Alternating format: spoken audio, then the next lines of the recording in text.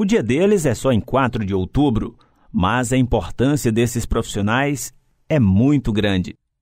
Os agentes comunitários de saúde, os ACS, realizam o acolhimento e são considerados os braços de uma unidade básica de saúde. Porque nós é que adentramos as casas, né?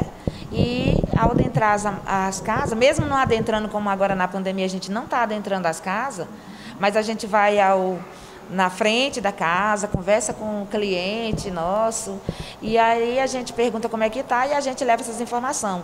Um novo fardamento já está sendo entregue aos 435 agentes comunitários de saúde.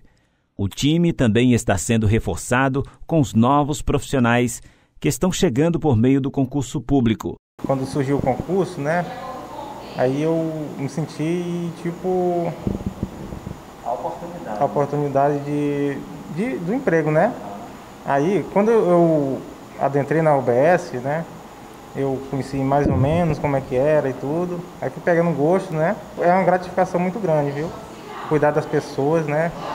Francinete Santos, que há mais de 20 anos atua na profissão, lembra que o papel do ACS é repleto de afeto e vínculo com a comunidade. O que a gente também termina adquirindo é confiança, a confiança da comunidade. Porque tem várias das vezes que a gente chega na casa e eles só fazem assim, tipo uma medicação. Eles só vão, só tomam aquela medicação quando a gente chega lá e diz assim, ó, para tomar assim, assado. Ah, que eu estava ali esperando para você me dizer isso.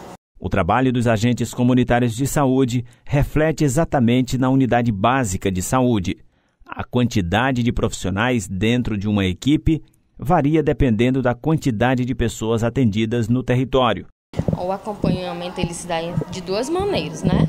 É o acompanhamento das visitas domiciliares que diariamente que os agentes de saúde passam nos grupos de risco e da população em geral e traz as dificuldades, as necessidades da população até nós.